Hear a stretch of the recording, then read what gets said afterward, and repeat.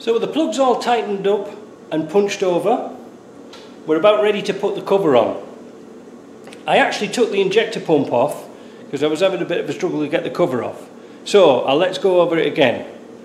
This is a sleeve I had made to guide the camshaft oil seal over this shoulder because it is kind of tricky to do.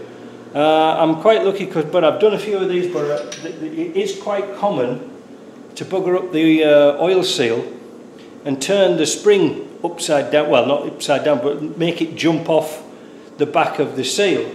So I've got the I've got the oil seals in place and they're all greased up.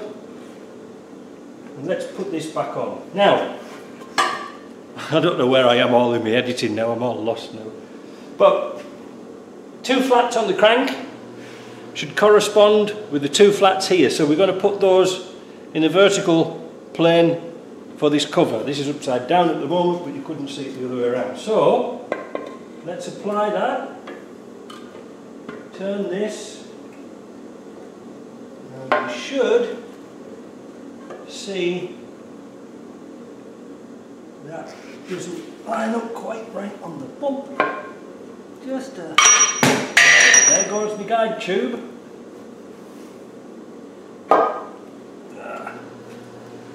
I'm going to uh, just turn the crank just a hair to get this cover on. Uh, give me two seconds, I'll have to find the bolt. I think this is about take 33 now. This isn't going right this morning at all. So we're going to take our sleeve, our guide sleeve, put it on the end of the camshaft so we don't damage any seals. Uh, what I had a problem what I had a problem with was I couldn't put the cover on because it wasn't quite lining up. So, hopefully, this time, we'll put our camshaft in. We can see that there's a camshaft sliding over there. Now, we just have to ease that pump and there we go. That's on. All it has to do now is settle onto the dowels, just like that. Take that off, easy peasy. All right, so that wasn't too bad. The next thing we've got to do is put all the bolts in and torque them down and tighten them down evenly. This is most important. So I'm going to try and find a, a piece of um, documentation from Land Rover to show you how we put the bolts in. Haha, did you think he was back? No, we're going to do this uh, 300 TDI engine. Just a couple of quick notes. That was a bit of fun? Um, tighten up the front cover on this, these engines and you need to find your workshop manual because it gives you, there's actually a pattern to tighten them up so you've got to do that correct and it's 25 newton meters that's all don't reef and rav on them because otherwise that, that could distort the the cover I'll put the pump on, so I'll fasten that on first, then put the pump on. All that is nice and rigid now. So I'm going to do the belt. Now we've been, we've done this a thousand times before, we don't need to do it again. But, as, uh, as you can see there, I've got the seals in.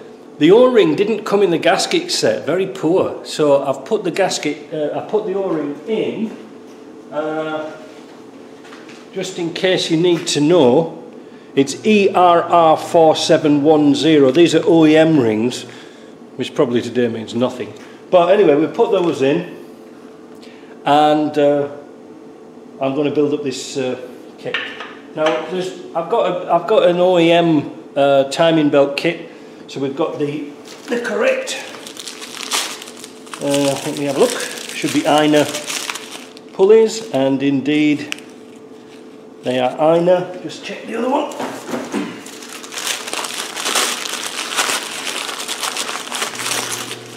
Yep. Ina, Made in Slovakia. Is, is, don't we make anything anymore? Tell you. Well, I suppose it's a bit closer than China. So I'm going to build this up. We've got to time it up. And um, after that, we're sort of getting stuck for rods. I can put the front cover on, I suppose. Well, again, we've done that as well. Getting shorter things to do now. But anyway, I'll get on the, with that and then we'll uh, add a little bit more onto this video shortly. Seeing it's a bit quiet today because it's snowing and uh, everybody sort of let me down for machining and parts and towing and everything. I thought I'd rescue some of the day by having a look at this timing cover. I just put the belt on and if people wanted to know how I put the belt on without the flywheel, well there's a little mark on the back of the casting to line up with the, the keyway. But seeing it's got no pistons in, it's really easy to turn over. And I want to see how this belt's running. So, I got a piece of plastic drain pipe and cut it down so that we can put the nut on, keep, keep some tension onto the end of the crank, and then just spin it over. And it's quite interesting.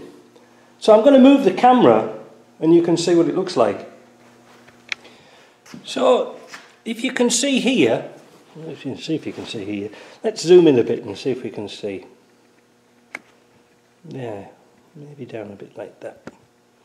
You can see there's a gap between the belt and the guide and there's also a gap at the back which is extremely difficult to film but I'm going to spin this over a few times the rattling is my uh, lifting frame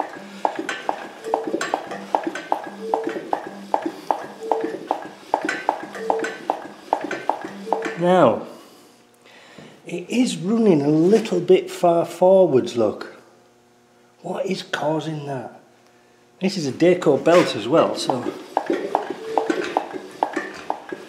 the knock knock knock is the injector pump. But although it's running forwards, it's not sort of, there's a sort of slight gap. But if I put my thumb on the top, oops, a minute, lost that there. If I put my thumb on the top of the belt, just ever so slightly. See how it runs back again? No pressure needed at all, then it runs back to its then it runs back to its happy space.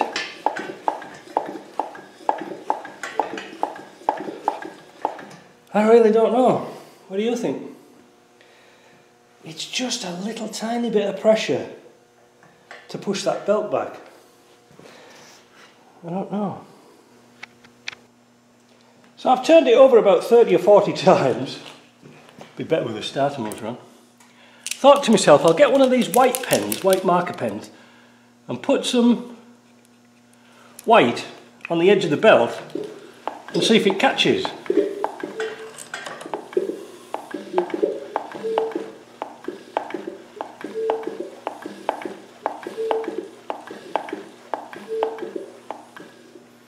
As you can see, the ink's still wet, but it's not sort of smearing all over the place. I don't know what to think. I really don't know what to think. I don't know how I can adjust this much more. Uh, we'll have to have a we'll have to have a sit down and think about this because it's running now at the front of the belt, front of the pulley. Let me pull this camera back a bit and see what I'm talking about. If I just put my thumb just on here, just ever so slightly,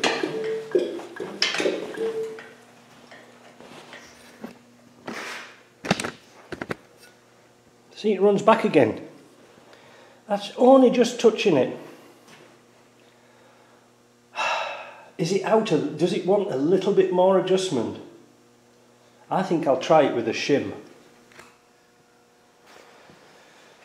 I went back to my old method of putting a, a slight shim behind the uh, injector pump on the three bolt flange to move, to in effect move the pulley like this, to move it inwards a little bit, you know, to, towards the back. And uh, it does run a lot better down here, it still doesn't run central. So I thought to myself I'd put my um, gauge on, on the end of the pump. Let's have a look at that.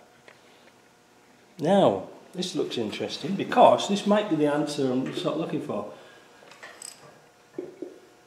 See how it, it dumps in? So it goes, it jumps in and then it jumps out again. And it's every stroke. Now how can I work that out? Oh wait a minute.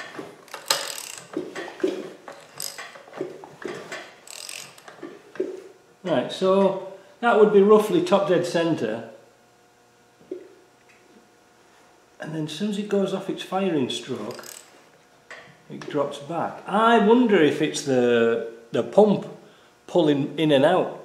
I've seen that happen before. And it's therefore it's causing the belt to shimmy around. Hmm. I don't know what it is. There's something mysterious with this. Hmm. This is one of the things that. Uh, this is one of the jobs that sucks hours into your, out of your job. You know, like I say, you could spend the rest of your days doing this. I don't know. I really don't know what it is. It's not touching down here on the bottom pulley anymore. You see down here, the belt isn't touching at all. I can see, I can see light through the side, so that's a good sign. Um, I'm just wondering why it does it. You know, if I all I've got to do is put my all I've got to do is very lightly, in fact I can do it sort of with my little finger. If I put my little finger on there, well I can't because of friction, but and, and that's all it takes to push it back again. Just a little bit of uh, force. So, is it shims? Is it the housing warped? I don't know what to do. I really don't know what to do. Hmm. I think, I don't know. Has anybody else had this trouble? Because you see, when we took the belt off, it was all shredded at the front, front but it's got the proper upgraded, uh, upgrade timing belt uh, kit on it. You know, the, the pulleys, the guide pulleys used to be here. The, the guides on the pulley used to be here, not down here. But the belt used to shred on the pulleys. I don't know. I'm, I'm fairly satisfied that this is um, this is square. It's all squared up. I don't know. See, the thing is, I can't turn that dial gauge. Well, I suppose I could put a stopper on there and, and then turn it, but because we're only talking about a few thousandths of an inch, it might not work. I'll tell you what, We've got nothing to lose, let's have a go. I was just putting this video back together, trying to get some video together, and I just had a thought. It seems to be, when I was looking at the video, this was pushing in and out. I'm just wondering whether that's its cause. Is that continuously pushing in and out and, and, and shimmying the belt across? I can't see how anything can be out of line here. The crank has to stay the same, the pulleys are the same, the cam doesn't move. It's got to be something with the pump moving and shifting the belt across because like I said, all I need to do is do a slight bit of pressure and it pushes it back again. So I had a cup of tea and I thought about this. It might be a last resort, but it might work. What if, I'm not, what, you see, I can see where that bolt hole is there, which is this bolt hole here. There's a big space here. What if I was to put an adjustable slipper with two bolts, you know, out, outside so it would just touch the belt, just, just, just to say touch the belt, and then a little bit more. Because like I say, when I rub that with my thumb, it's absolutely nothing. And I thought, well, what if I got like a piece of nylon uh, that would just push that belt back a bit so it's got like a guide at the top and, and just keep it in line. Problem with that is I can't find, I can't take the cover off and have a look and see if it's working. Well, I suppose I could do, I could bolt it on, turn it a few turns, turn it off, take it off. Oh, and if anybody's wondering, I've got that really, really sticky oil on the crank so it's it's cool don't worry about that it's not running dry. Um, I don't know. It's got me flummoxed. I don't know what to do. You know I don't want the uh, the belt to go again But I'm seeing this more and off, more and more. I'm seeing belt problems, even when, even with this uh, sort of upgrade kit on. I don't know. Do you know, all Land Rover had to do, all they had to do, because they knew this was, they, they knew this was a problem right at the beginning, these belts, put gears on it. That's it. Like Zeus, or Zeus, used to make a timing gear kit. That's all they had to do. Being simple then. But stuck with a timing belt. Hmm. What would you think? What would you do? There's something not quite right with it. And I don't know what it is. Like I say, I could go through an awful lot of expense. Is it an injector pump? It, it used to run it used to run really good. So maybe it's a bit worn, maybe it's moving backwards and forwards a bit, I don't know. Or is this housing really buggered? I don't know. It's a, tough it's a tough call fixing customers' jobs because once it goes out there, I might not see it for an awful long time. And it's not the sort of thing you take off to have a look at because it's got all the AC in and stuff like that, so it's really difficult to pull the cover off and have a quick peekaboo and see uh, see how the belt's running. What a nightmare. You know, you don't want it to snap. And these are all genuine, you know, the sort of OEM parts. So the pulleys and things, the pulleys can't be wrong. And the pulley on the crank, all it does is go round. I mean, there's nothing wrong with that. And you can't say that the if I if I slapped off the pulley and moved it forward, it would still move forward. That's the that's the catch. It's still just moving just that little bit. Um, and it it only takes about maybe ten turns of the engine, and it'll shove its way forward. So it's something's not quite right, and I don't know what it is. Well, I really don't know what it is. You know, you could actually bolt all this back together and not know about it. You know, you just think, oh, I've done a belt, and bang it all back together again and, and forget about it, it'll be fine. Maybe I'm too concerned about something that's not, not really happening. I don't know. What do you think if I put a slipper at the top there and just pushed it, pushed it back a bit? It'd be a bit of interesting engineering project. But I don't think nylon would cause any damage, especially if I made it sort of a, an, a long rounded, not a rounded, but you know, like it had a smooth lead into it. So it was just pushing against it and the nylon wouldn't damage the belt. It, in fact, it would eat the it would eat the nylon after a bit of time, but at least we could we could push it back on. Hmm. I don't know.